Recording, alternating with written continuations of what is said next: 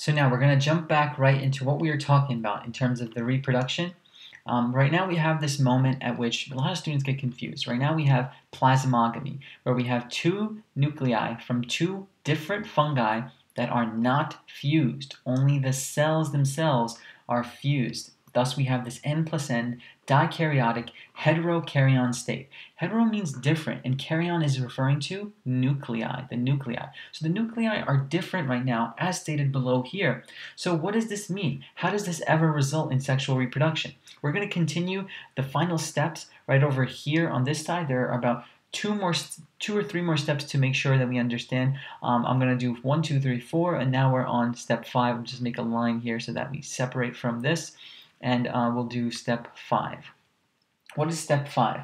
Now, in step five, the mycelium will grow via mitosis. Okay, mycelium grows via mitosis. Now, what was the mycelium? Mycelium was that extension. When does the mycelium grow? The mycelium only grows if we have a moist environment with food, if we have the germination of a spore. If that spore germinates and it's a nice environment, a mycelium, an extension, a hyphae extension will grow and will be successful. How is it growing right now? Keep in mind right now it's growing via mitosis. This is a continuous reproduction without any sort of genetic change. It's a constant uh, replication copying process. Thing to remember right now is that we still have no fusion of nuclei. Still no fusion, still no fusion uh, of nuclei. So the nuclei are still within that n plus n state. Okay, so write that down as n plus n still. So now, why are we not fusing these nuclei?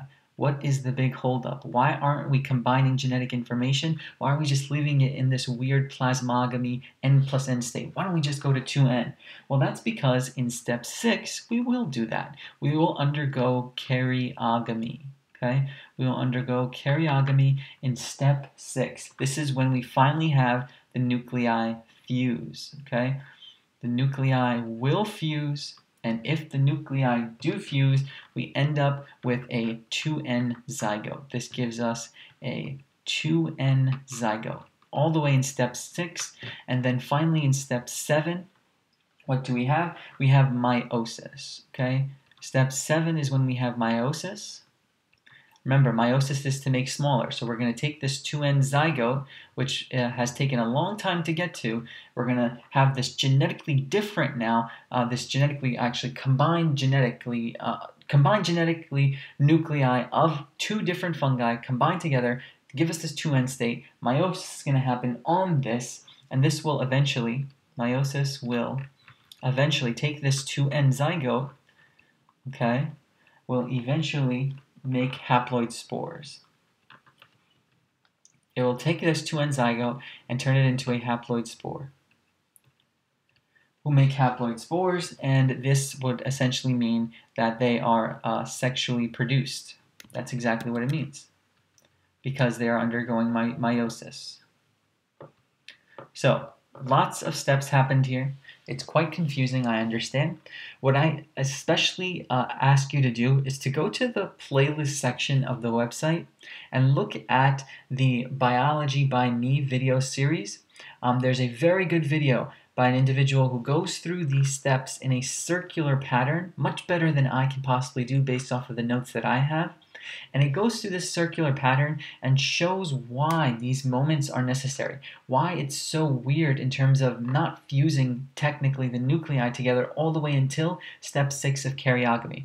This is an important part of sexual reproduction in uh, the, the uh, fungi because of the fact that they undergo this weird, awkward type of sexual reproduction that is a bit inefficient we're going to see that this is going to improve when we get to the plant level. It's going to get better when plants start to do sexual reproduction. I understand it's a little bit overwhelming, but let's just quickly go over what happened.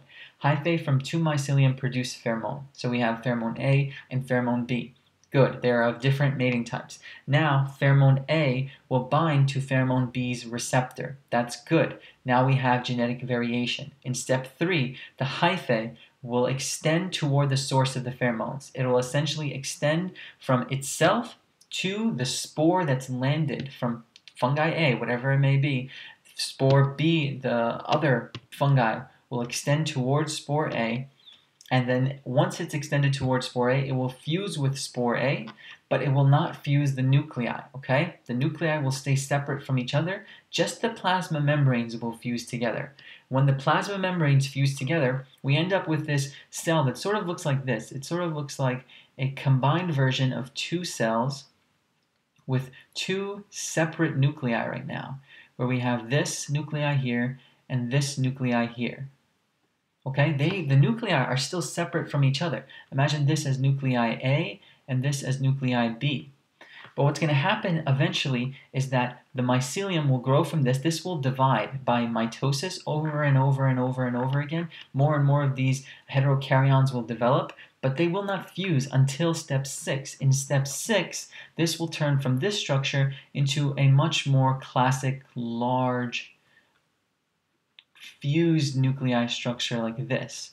This will be the fusion of A nuclei and B nuclei. Karyogamy will happen. This is right now in an N plus N state, right? NA, haploid A, haploid B. This right now is in a 2N state. Let me rewrite that as a 2N state right here, 2N. So now once we have that, this will undergo meiosis. Once this undergoes meiosis, it will essentially produce a haploid spore.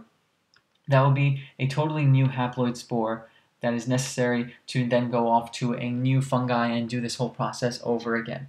I suggest looking at the figure in your textbook that shows this, shows this very well. Uh, it does it for a specific, I'll refer to it in a later video, we will do this for a specific type of fungi that does this type of uh, sexual reproduction. Hopefully this hasn't been too confusing. Again, go to the playlist section, watch the video by this guy, I think his channel is named Biology by Me, and he does a great job of explaining this fungi reproduction.